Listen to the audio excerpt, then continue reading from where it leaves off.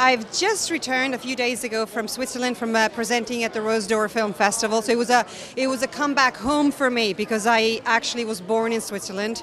So I spoke to them all in Switzer- Schweizerdeutsch, and now suddenly I'm getting Swiss offers of Swiss movies. I'm leaving in two weeks. Uh, I just finished a season premiere, uh, a season finale, I mean, of uh, CSI Miami. And uh, we're having the season finale on May 18th, so I hope everybody plugs in because it's a really, really good one. And my arc, my character has got taken a nice little turn, so I'm really loving where it's going with the character. I think people are going to enjoy it very much as well. And um, leaving in uh, two weeks for Monte Carlo because I'm nominated for Best Actress in um, The Border. Gage right here. Sofia, darling. Oh, right here, darling. Uh, Sofia, let me this.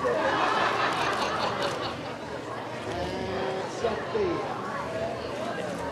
And eyes to me. And looking this way. One more over here, sweetie. Can I see you right here, your eyes? Sofia, right over here, darling. And and right back to me. Beautiful. There we go. Let me have you chin up a little bit. There. Perfect. Perfect. Right over here. And straight again, straight on. Perfect. One, two, Ah, and right to me.